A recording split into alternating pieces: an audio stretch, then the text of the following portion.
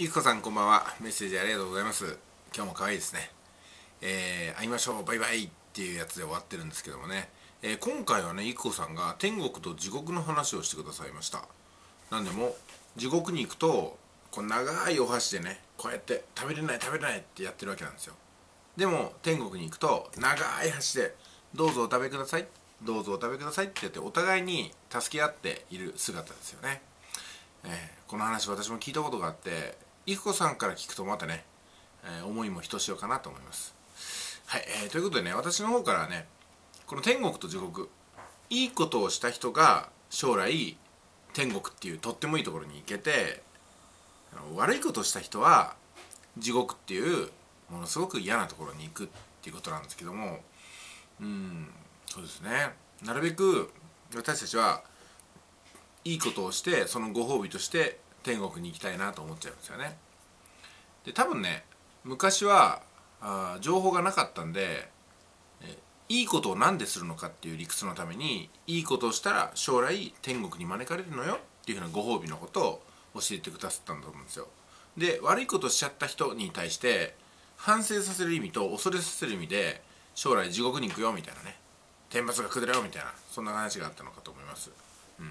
でも今ね情報が流通して天国も地獄もないんだよ。っていうことはね、えー、やっぱりこう信じる人もいたりとかいや実際には天国や地獄があるんだよ。って方がいらっしゃったりとか。今あの情報が自由化されましたんでみんな考え方がバラバラで、えー、本当に自由になりましたよね。そしてまた私たちはあのそういったいろんな考えを持っていいんだってことを知ることができるんですよ。まあでもまだまだね日本は同調圧力強いんでみんながこう思ってるだろうなっていうことに最終的な決断を合わせる可能性があるんですよね。まあネットビジネスとかもそうかもしれませんよね、やっぱりこう妙なことをやってるように映りますよ、うん、まあでも私たちはどちらかというとみんなと同じが好きなんじゃなくてみんなと同じじゃないように工夫してる部分もあるんですよね、えー、例えばね着てる服が出かけていった時にかぶってるみたいなね同じ服着てる人がいたらちょっと気恥ずかしいじゃないですか。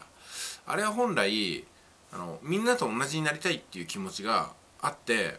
あの同じ服着てるの見たら安心するはずなのにしまったと思っちゃうんですよね。なんでしょうかねやっぱりね、うん。まあ、そういうところもあったり、うん。